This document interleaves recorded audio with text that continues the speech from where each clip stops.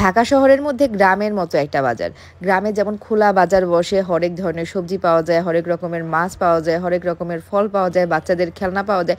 ঠিক এমন একটা বাজারে আজকে চলে এসেছি। এটা হচ্ছে উত্তরা আঠারো নম্বর সেক্টরের পাশে একটা বাজার রয়েছে, খোলা বাজার। এটার নাম হয়েছে বউ বাজার। আশেপাশের কৃষকেরা সরাসরি নিজের সবজি এখানে নিজেরা এনে বিক্রি করেন। এই জন্য এখানে একদম ফ্রেশ সবজি পাওয়া যায়। তো এখানে লাউ শাক, লাল শাক থেকে শুরু করে হরেক রকমের সবজি পাওয়া যায়। একদম গ্রামে যেমন অনেক ধরনের বাজার পাওয়া যায়, ঠিক এমন ধরনের। তো আমি লাল শাক নিয়ে নিলাম, সাথে লাউ শাকও নিয়ে নিলাম। এখানে সবজিগুলো ফ্রেশ পাওয়া গেলেও দামটা কিন্তু একটু বেশিই মনে হলো আমার কাছে, কারণ একদম ফ্রেশ সব কিছু পাওয়া যায় তো এই জন্য বাজারে যাইতে দামটা একটু বেশি।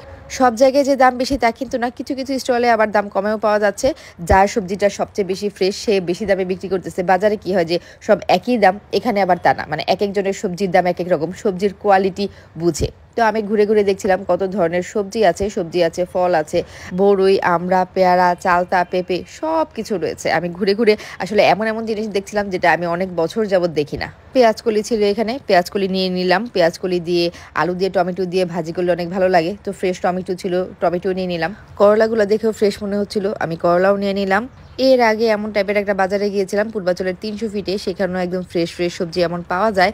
তো আজকে যেহেতু উত্তরার ভিতরেই পেয়ে গেলাম, এখানে চলে আসছি। আর এই তো লেবু, লেবুগুলা থেকে এত সুন্দর ঘ্রাণ বেরোচ্ছিল, তো লেবুও নিয়ে নিলাম। আর লেবুর পাশে এটা পুঁই শাকের ফল নাকি জানো, এটা কীভাবে খায় আমি জানি না। সব আনকমন আনকমন জিনিস। সরিষা শাক, অনেক আনকমন জিনিস যেটা বললাম আমি অনেক বছরও দেখা যায় নর্মাল বাজারে দেখা যায় না। এরপরে দেখলাম যে কুমড়া ফুল, কুমড়া ফুলটা অবশ্য বাজারে অ্যাভেলেবেল দেখা যায়, তো এখানে একদম ফ্রেশ কুমড়া ফুল ছিল, তো আমি কিছু কুমড়া ফুল নিয়ে নিলাম। কুমড়া ফুল ডিম দিয়ে ভাজি করে খেতে আমার কাছে বেশ ভালো লাগে। এরপরে ঘুরে ঘুরে দেখছিলাম যে আনকমন আর কি কি পাই, অনেক ধরনের মাছও ছিল, তবে আমি মাছ আনব না। হাঁসের ডিম, দেশি মুরগির ডিম মানে গ্রামের বাজারে যেমন হরেক রকমের জিনিসপত্র থাকে, ঠিক এমন।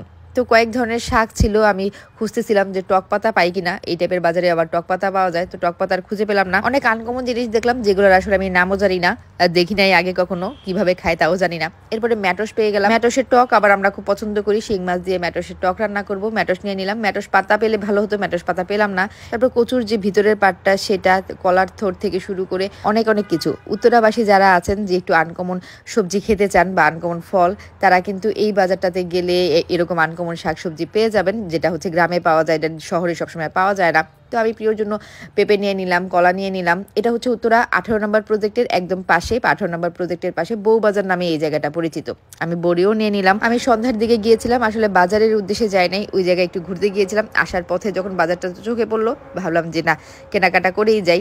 আনারস ছিল, ভুট্টা ছিল, তো আমি খাওয়ার জন্য ইনস্ট্যান্টলি দুইটা আনারসের ভর্তা বানাতে বললাম। তো আনারস রেডি করতেছে। সাথে সাথে হচ্ছে রেডি করে দেয়। আর পাশেই ছিল হচ্ছে ভুট্টা।